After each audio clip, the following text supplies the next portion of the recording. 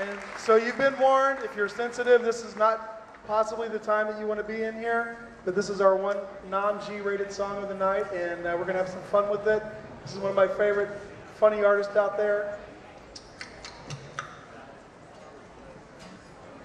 Nominated in the novelty and political categories. Please give it up for. Are you ready to go? Uh, I think, uh, are we ready, ladies? You ready?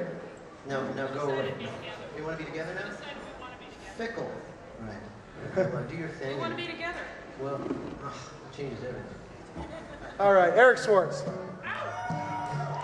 Hey, congratulations to everybody out there who's already won or is about to win or almost won, whatever. Fantastic you're all here. Listen, if I don't shake your, the hands of the winners later, it's because, well, there's a bathroom attendant and we're all starving artists, which means we don't have the money to tip the bathroom attendant, which means because we're scrupulous characters, we're not going to avail ourselves of a service which we, we, we don't pay for, so I'm not touching anybody. All right. You want a wedge? Speaking of which, Yeah, so I was gonna sing country songs or Nashville, like "There's a picture of somebody's dick on your phone." Like that's what I was gonna sing, right? But but but then it turns out that like four blocks away, the man whose name is in the song that is that I, that, that, that I'm under consideration for an award tonight for, he just gave a, a speech over for the Democratic National thing, so I had to do it. It's you know, oh yeah, all right.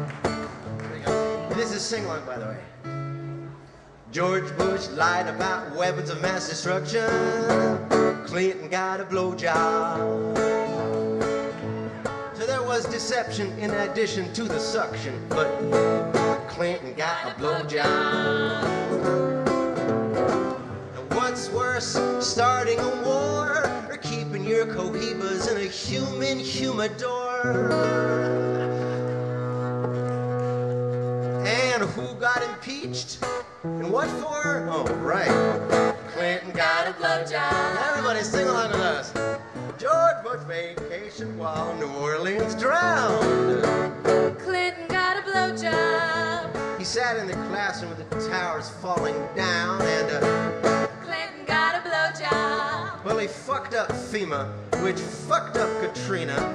Not to mention the conventions of Geneva with 24 civilians murdered in Haditha and Clinton got a blowjob. Hey, this is a sing along. I don't care if we're in Nashville. It's fun to say blowjob.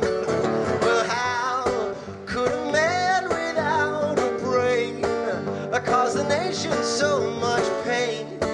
Cause the world such hate for these so called United States? And how could the Congress help but act in the face of every fact I have presented here? Comparisons couldn't be more clear. George Bush authorized leaks of classified information Clinton got a blowjob. to make the case for attacking a sub. Come on,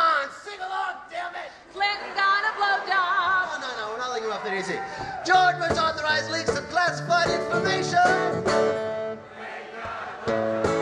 to make the. That, doesn't that feel better? To make the case for attacking a sovereign nation and.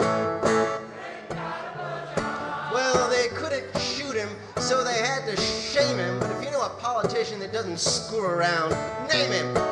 And you know Hillary. Can you blame him? See, that was for Republicans. Uh, All right, what- what- what- uh, George Bush funded sex ed that taught our children that condoms didn't work. Clinton got a blowjob. And guess what, George? If they didn't, both your daughters would be pregnant, you jerk. Clinton got a blowjob. So Bush lied about his bust for driving drunk. Clinton's biggest crime was having spunk. Choosing a statue less than statuesque and setting her on display under the Oval Office desk. All right, George, what else do you Latin American people about? Uh, stem cell research, uh, absolutes, global warming, social security, missile defense, Katrina preparations, going AWOL from the National Guard. Add your own, everybody. Guess what? Not that hard.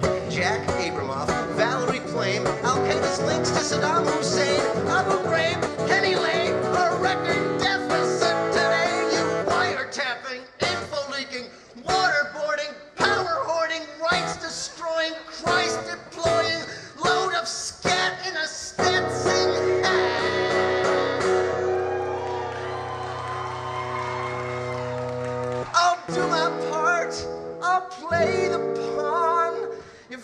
what it takes to get you going.